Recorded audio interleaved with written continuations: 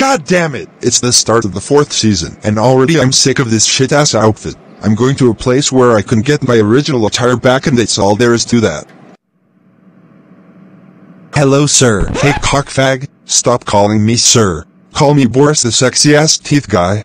Calm down, man. Are you ready for your new look for season 4 of this show or not? Yeah, but you better get me the good stuff, you feel me? Yeah, I feel you alright. That's right, make it snappy. Ugh. 39 minutes and 20 seconds later. Alright, ready for your new look? Yeah! Here it is.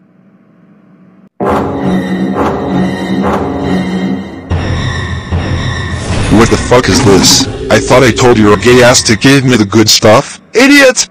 Yeah, it is the good stuff. That's not what I meant, you jackass. Too bad so sad. Boo-hoo, you red teeth racist. Later that same day. How's that feel when you made fun of people for who they are? What a ferocious little bitch that you are. Ah,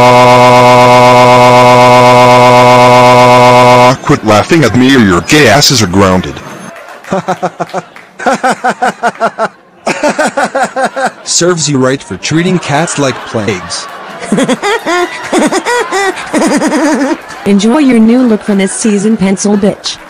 Oh, thank God, Officer Darwin. Take those losers to jail now. Actually, I'm here to take you to jail. Now come with me. No, no, no, no. You're picking on the wrong guy. Let go of me now, damn it. Have fun at jail once again, pencil racist.